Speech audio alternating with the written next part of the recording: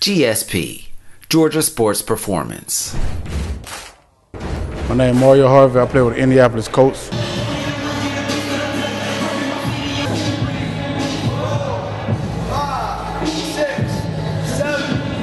heard about GSP from uh, EJ.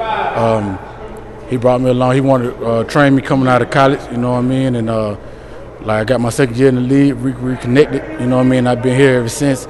Then later on, I met Earl. Both of them guys, some good guys, and you know I'm happy to be here. Endurance, speed, individual work, uh, hand work. I mean, anything you need in the trainer, they got it here. You know, they got EJ been in the NFL, Earl playing football as well, so you got your trainers can relate to the game and know what to expect out on the field. So that's that's a good thing about these two trainers up here. You know what I mean? They can they can relate what you're going through on the field. You know what I mean? Mentally, physically, and and, and prepare you for the future.